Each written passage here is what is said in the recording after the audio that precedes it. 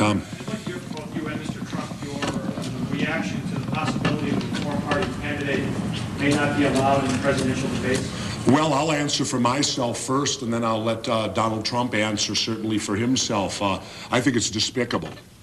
Uh, I think it's a clear case of them fearing there could be another Jesse Ventura and that they're going to stop in any way they possibly can because uh, for those of you that are national and weren't here in Minnesota when I ran, uh, at the point of the primary, I was only polling 10 percent which means that if you went by their criteria, I would not have been allowed to debate and subsequently would have not won the election. And it also shows great fear on their part in the fact that a candidate like me can be at 10% and can turn around in a mere six weeks and win. And it's obviously clear to me that they don't want that to happen again. And uh, I think it's cheating the American public. I think, as I said, it's despicable on their part and I would hope people would be as outraged about it as I am. Uh, the third, all other criteria and major party status is listed at 5%, 5% to be major party, 5% for federal funding and all that. Yet on debating, it's 15% now. And rest assured, if we came in with a 15%, they'd raise it to 20.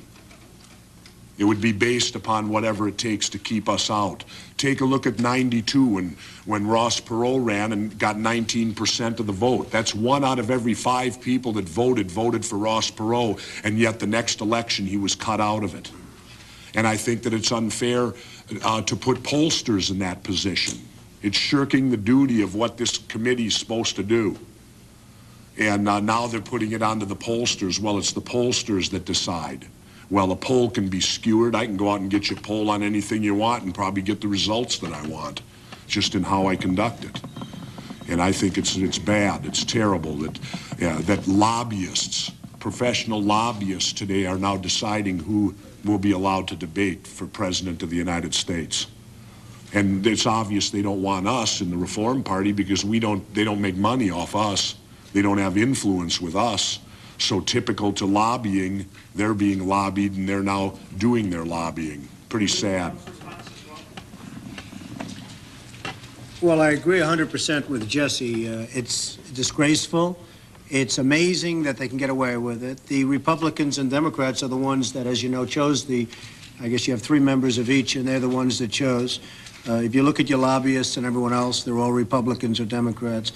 And I'll add one additional thing. I watched the Republican debate last night, and I'll tell you what, if the right person was debating against whoever the winner of that group is, they'd have a major impact on the election because that was not a very, uh, a very inspiring group of people that I was watching last night. So I think they're very concerned. I think they're extremely nervous about it.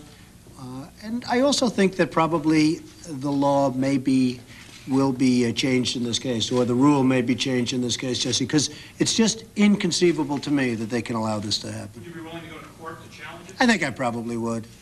I mean, Pat Buchanan's right now in court. He's going to get nowhere probably, but the fact is that let him spend his money first. Let's see how he does. If he doesn't do it, we'll step in and maybe we can do something. But the fact is, it seems very, very unfair to me. Would either of you guys get 15%? I mean, I, well, I think this guy would, and I think based on our polls, we would. Based on what uh, we've done internally, we would. If people think that I'm running, we do great. A lot of people say, oh, he's maybe not going to run, he's just having lots of fun. That's not the case. If people think that we're running, seriously running, we do very well. I just think it's unfair, though, regardless of that, to have such a high standard, a high criteria for a party that's a legitimate party that has a substantial amount of federal funding, that's recognized, and where at some point during this process, somebody's going to be in all 50 states. Very unfair.